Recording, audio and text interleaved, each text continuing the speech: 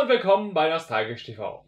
Ich bin der nostalgische Typ und manche Erinnerungen können wehtun. Und ein abermaliges herzliches Hallo und willkommen zu einer neuen Ausgabe von Quickies.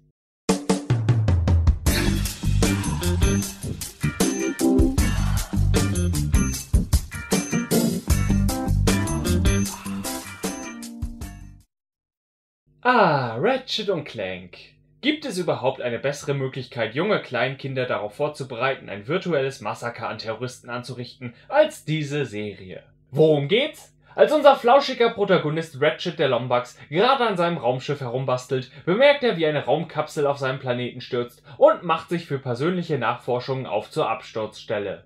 Dort angekommen stellt er fest, dass sich in der Kapsel ein kleiner Roboter namens Clank befindet. Dieser zeigt ihm ein Informationsvideo für die Alien-Spezies der Blag. In dem Video wird dem Zuschauer erklärt, dass die Umwelt des Blagheimer Planeten durch Überbevölkerung und Verschmutzung sich im kritischen Zustand befindet und bald keine Lebensform mehr darauf leben kann.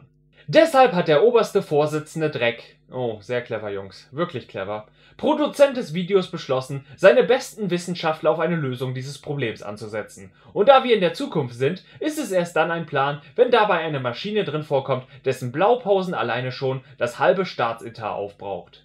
Ihr könntet auch einfach erneuerbare Energien benutzen und mehr recyceln und... Okay, ich hab's kapiert. Scheiß auf unsere grüne Mama.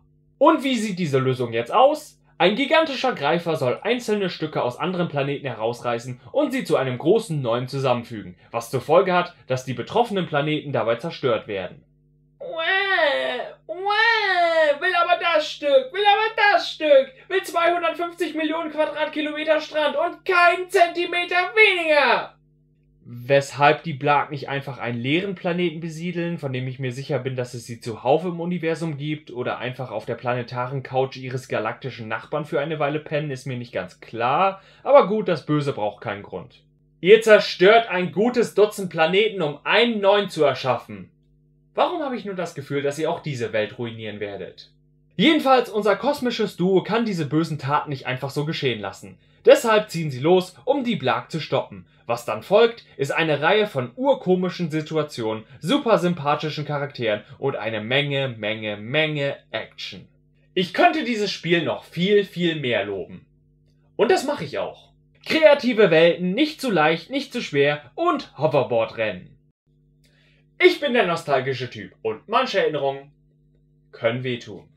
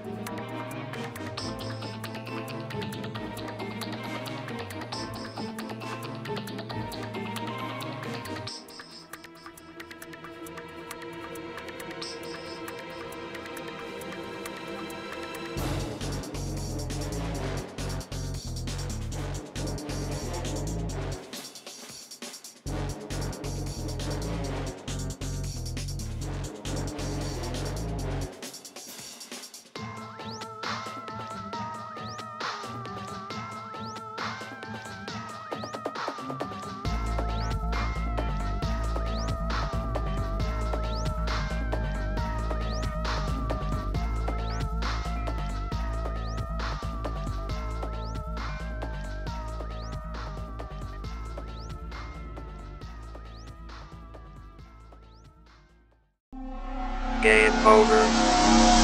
Game over. Game over. Game over. Game over.